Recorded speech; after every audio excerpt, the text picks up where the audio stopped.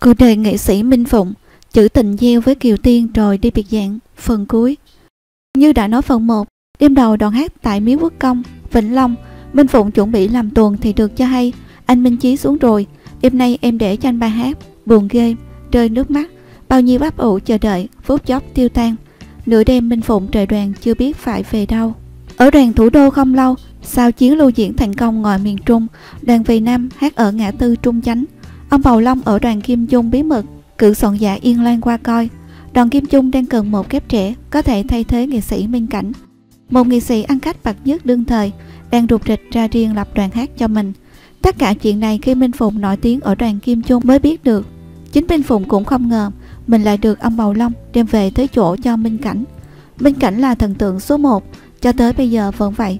Minh Phụng vẫn giữ sự tôn trọng, yêu quý nghệ sĩ Minh Cảnh. Đời đoàn Kim Trượng ở Vĩnh Long lòng tuy nuối tiếc, nhưng tự ái của một nghệ sĩ trẻ mới vào nghề, ham hát buộc minh phụng phải ra đi, chỉ dần chân nơi nào cho anh cơ hội. Được biểu diễn thường xuyên, đọc báo thấy đoàn hát gần nhất là đoàn bạch vân, phước việt, đang diễn ở bạc liêu vậy là khăn gói đi tìm đoàn nhỏ ở đó. Chắc sẽ được hát nhiều, có điều kiện rèn luyện nghề nghiệp.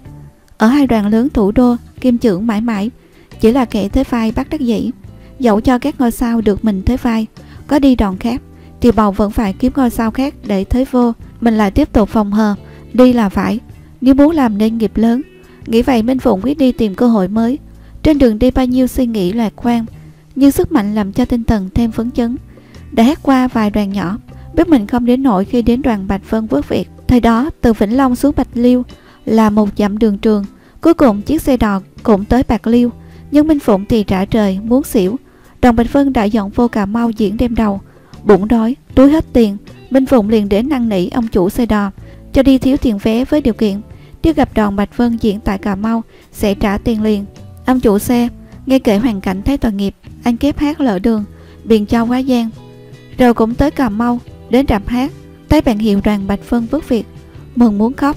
Vô đoàn gặp ngay ông bầu xin tiền, nói rõ lý do vì đau vô đoàn Bạch Vân. Ông bầu cho tiền trả tiền xe, cho ăn uống vì thương hại hơn là tin tưởng sẽ hát được.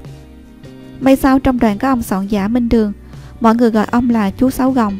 Nhìn tướng tá nghe Minh Phụng ca thử ông chấm. Còn ông bầu thì thờ ơ.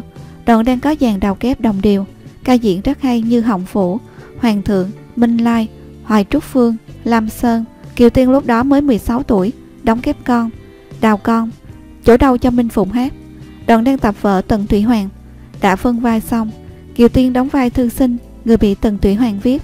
Soạn giả bên đường viết thêm vai Tần Phát là cháu Tần Thủy Hoàng, chỉ chạy ra ca, can vua, khi vua ra lệnh giết tư sinh. Thời đó ghép bản nhỏ để vô vọng cổ. Các soạn giả hay viết gian tô, hướng mã hồi thành. Soạn giả bên đường cắt cớp, muốn thử tài minh phụng nên viết bài ghép vô vọng cổ là tử quy từ. Đêm đầu khai trương, tới lớp này, Minh Phụng bước ra sân khấu vô vọng cổ, khán giả vỗ tay muốn vỡ rạp. Mọi người chúc mừng, ông bầu tạm hài lòng. Điên Minh Phụng vô cùng biết ơn soạn giả Minh Đường. Đoàn tập tiếp tụ người về trong sương tuyết của tác giả Vạn Lý. Minh Phụng được phân vai ông già, vậy là cái số đóng vai lão cũng không buông tha cho anh. Không phải ông Bạch Phân không thấy khả năng của Minh Phụng, nhưng vì đoàn đang rất ổn định. Nếu lăn xây anh kép trẻ này, sợ các anh kép khác giận dỗi bỏ đi. Số sao mà đen quá vậy?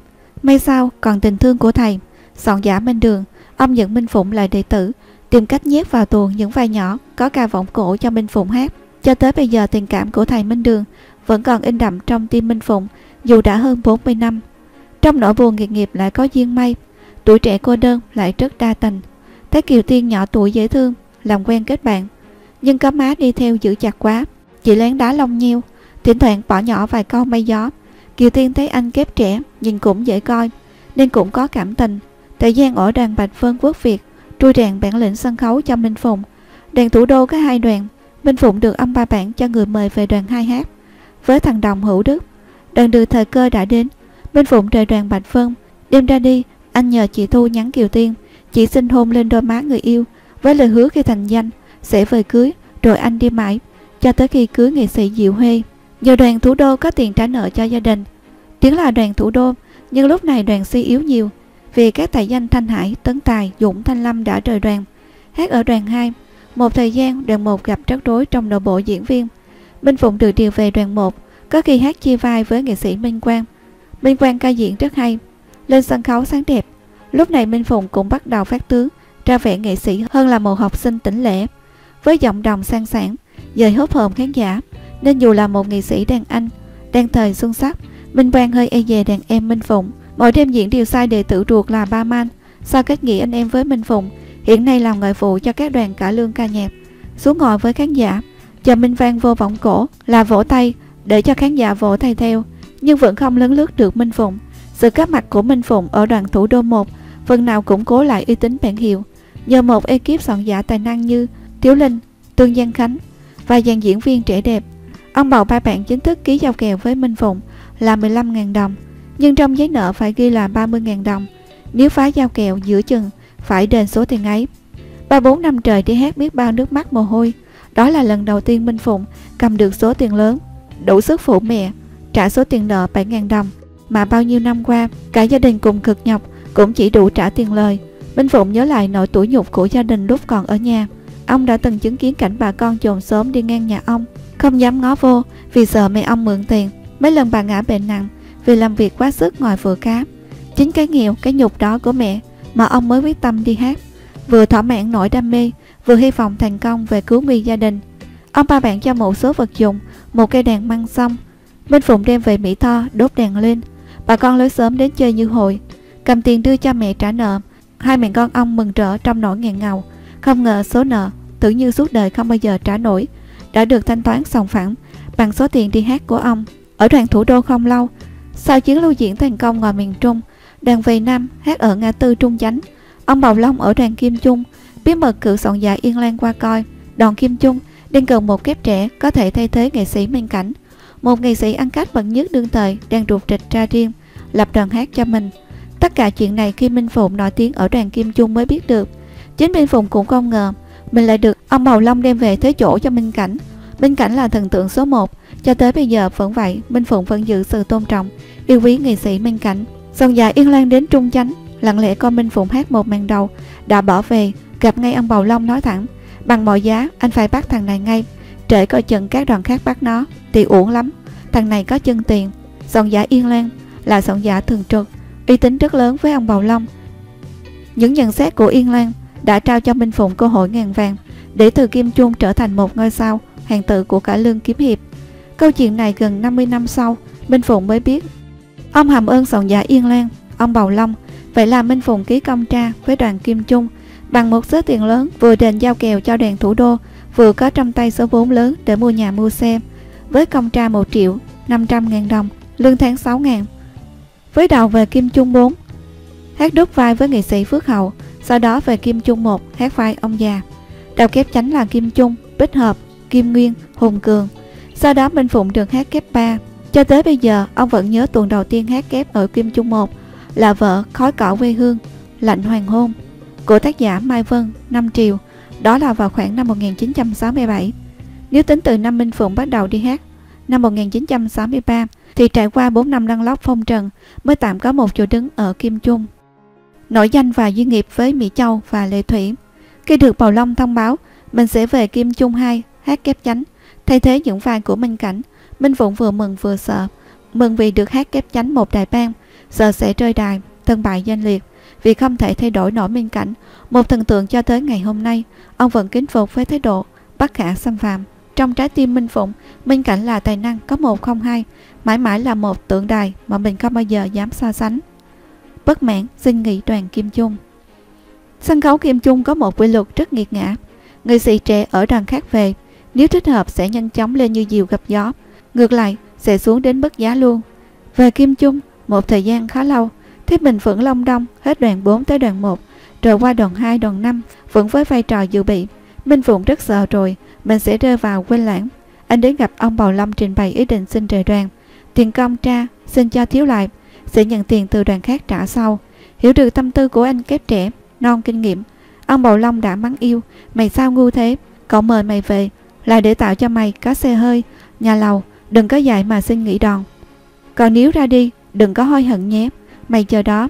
Minh Phụng vẫn chưa hiểu ý định của Bầu Long, sau này anh mới vỡ lẽ ra. Minh Cảnh là một nghệ sĩ ăn cát số 1 của Kim Trung, từ đó muốn ra lập đoàn riêng. Đoàn Kim Trung Mất đi một nghệ sĩ hái ra tiền, thêm một đối thủ nặng ký, tương lai sẽ gây khó khăn không ít cho công ty Kim Trung. Bầu Long và Bộ Tham mưu dù rất tiếc Minh Cảnh, nhưng không vì thế mà để Kim Trung suy sụp. Minh Phụng là một lựa chọn tá bạo mà họ cần để thay thế Minh Cảnh. Vào thời điểm đó là một sự phiêu lưu, xác suất thất bại rất lớn. Minh Cảnh là một ngôi sao ăn cách số 1 của cả lương đương thời. Minh Phụng một kép hát vô danh, chưa có gì đặc sắc. Dùng cũng được, bỏ đi cũng được. Bằng chứng là một số đàn cát đã không cần lăng xê Minh Phụng. Bộ tham mưu của Kim Trung thì khác, họ có những kinh nghiệm, những tiên đoán độc đáo và điều đó đã được dẫn chứng. Về Kim Trung 2, tới vai thần tượng Minh Cảnh. Khi được Bầu Long thông báo mình sẽ về Kim Trung 2, hát kép chánh, thay thế những vai của Minh Cảnh. Minh Phụng vừa mừng vừa sợ, mừng vì được hát kép chánh một đại bang, sợ sẽ rơi đài, tân bại danh liệt, vì không thể thay thế nổi Minh Cảnh. Một thần tượng cho tới ngày hôm nay, ông vẫn kính phục với thái độ bất khả xâm phạm. Thực vậy, thời Hoàng Kim của Minh Cảnh, có những đoàn hát nào hát gần đoàn Kim Trung 2? Có Minh Cảnh, thì chắc chắn đoàn đó sẽ mất khách, có thể phải trả vé. Hình Minh Phụng được treo lên thay thế hình ảnh Minh Cảnh. Ở mặt tiền quảng cáo, khán giả đến Thái Kim Trung 2, không còn Minh Cảnh, không thèm mua vé. Bà Cao Long Ngà, một người có phần hùng trong công ty Kim Trung, đã năn nỉ khách vào xem và bảo đảm Minh Phụng hát rất hay, không kém gì Minh Cảnh. Những luyến lấy cách vô vọng cổ của Minh Cảnh đều được Minh Phụng bắt chước luyện tập giống y chang. Khán giả tạm bằng lòng, nhưng đoàn Kim Trung 2 vẫn chưa đông khách. Đoàn phải đi diễn ngoài ô một thời gian, chuẩn bị một kịch bản mới viết riêng cho Minh Phụng, với hy vọng hình tượng nhân vật mới sẽ tránh bớt gánh nặng cho Minh Phụng. Nổi danh nhờ hát chung với nghệ sĩ Mỹ Châu. Ban đầu hát chung với Minh Phụng, Mỹ Châu không nhiệt tình lắm, bởi cô chưa thể tin anh kép trẻ kia có thể thay thế được Minh Cảnh. Dù tuổi đời còn rất trẻ, nhưng Mỹ Châu lúc ấy đã trở thành một ngôi sao lớn của sân khấu Kim Chung. Dù hát với bất cứ kép nào, vẫn kêu khách đến, rất đông với đoàn. Điều kỳ diệu đã đến khi chỉ mấy tháng sau thôi, dần dần khán giả bắt đầu thích Minh Phụng và liên danh Minh Phụng Mỹ Châu bắt đầu có sức hấp dẫn mới. Đỉnh điểm khi đoàn khai trương vợ Kiếm sĩ người dơi thì tên tuổi Mỹ Châu Minh Phụng trở thành những ngôi sao ăn khách bậc nhất. Họ là đôi bạn diện rất ăn ý, một sự thành công đến kỳ lạ kịch bản gió giao mùa. Minh Phụng vào vai thằng cát tư hãng, kép đọc mùi đúng sở trường, Phương Bình hát vai chánh cổ gia trường, tạo nên cơn sóng gió mới trong sinh hoạt cả lương thời đó. Nghệ sĩ Mỹ Châu tuy là bạn diễn, nhưng cho tới hôm nay, Minh Phụng vẫn xem Mỹ Châu như một đàn chị nghề nghiệp, một người ân. Chính nhờ được hát với Mỹ Châu mà Minh Phụng trở thành một tên tuổi lớn. Ông thường nói, Mỹ Châu có tay lăn xê kép. Nhiều kép trẻ hát cặp với Mỹ Châu đều trở thành những ngôi sao của sân khấu cả lương như tôi, Minh Vương, Thanh Tuấn, Chí Thâm, Hoài Thanh. Bây giờ nhớ lại Minh Phụng vô cùng cam phục, cặp mắt tinh tường của ông Bầu Long. Nếu không về Kim Trung và nếu không được tới vai Minh Cảnh, có lẽ Minh Phụng cũng chỉ là một anh kép hát tầm tầm. Ông cho đó là duyên nghiệp. Duyên nghiệp với nghệ sĩ Lệ Thủy, đoàn Kim Trung hai rất mạnh. Theo tính toán của Bộ Tham mưu Kim Trung, thì Mỹ Châu với Phương Bình từ sức giữ vững đoàn Kim Trung 2. Trong khi đó, đoàn Kim Trung 5 đang được trẻ hóa, Lệ Thủy nổi lên thành ngôi sao mới. Nhưng thiếu một người kép trẻ xứng tầm, vậy là Minh Phụng được điều về Kim Trung 5, hát cặp với Lệ Thủy. Đây là thời gian đẹp rực rỡ nhất trong sự nghiệp của Minh Phụng. Nếu như nghệ sĩ Mỹ Châu là nền tảng để đưa Minh Phụng trở thành một ngôi sao, thì Lệ Thủy là người đã đẩy Minh Phụng lên trở thành một ngôi sao số 1, một thời lưng lẫy. Lệ Thủy là người hát cặp lâu nhất với Minh Phụng. Người ta đã ví Minh Phụng Lệ Thủy là cặp sống thần của sân khấu cả lương thời đó.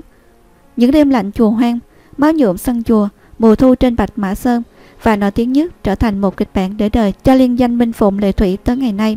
Khán giả vẫn còn nhớ những lời ca của hai nhân vật Âu Thiên Vũ, Hồ Như Thủy trong kịch bản Xin một lần yêu nhau của tác giả Yên Lan, Nguyên Thảo. Dù Minh Phụng có tu dĩa, đóng cả lương truyền hình với nhiều nghệ sĩ khác như Bạch Tuyết, Phượng Liên, Ngọc Dầu, thì trong lòng người mỗi điều cả lương, Minh Phụng, Lệ Thủy, Mỹ Châu là như một. Minh Phụng luôn cho rằng ông là người rất may mắn, được hát chung với hai nữ nghệ sĩ mà trong như định mệnh đã sắp đặt cho họ có một mối dây liên hệ mật thiết tạo nên những thành công vang dội trên sân khấu cả lương. Trong thế hệ của mình, có thể coi nghệ sĩ ưu tú Minh Phụng là hình mẫu đẹp nhất của chàng kiếm sĩ hào hiệp, giang hồ lãng tử, tài hoa đa cảm, đủ sức mạnh vượt qua rừng gươm biển giáo, nhưng lại yếu ớt dễ thương, chìm lụy trong bể ái trời tình. Mấy hay chữ tình, mạnh hơn sức mạnh ngàn quân. Sau ngày 30 tháng 4 năm 1975, Minh Phụng về cộng tác với các đoàn hương mùa thu, nhà hát Trần Hữu Trang, Đồng văn công thành phố, sống chung quê hương Bến Tre, Trung Hiếu và có một thời gian lập ra đoàn tiếng chuông vàng